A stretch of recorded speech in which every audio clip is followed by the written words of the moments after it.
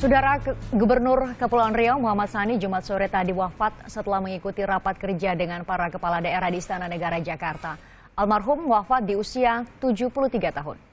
Jenazah Gubernur Kepulauan Riau Muhammad Sani malam ini dibawa keluarga untuk dimakamkan di kampung halaman di Tanjung Pinang, Kepulauan Riau. Sani wafat setelah sempat dirawat intensif di Rumah Sakit Abdi Waluyo. Sepekan terakhir, kesehatan Sani dikabarkan menurun.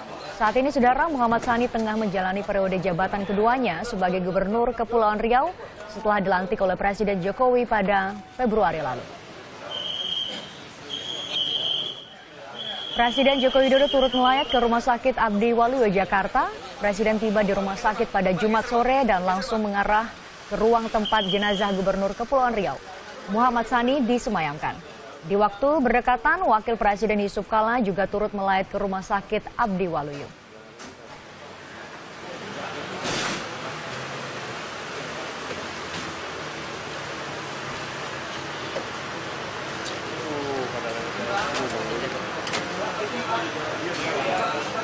Pak Jokowi.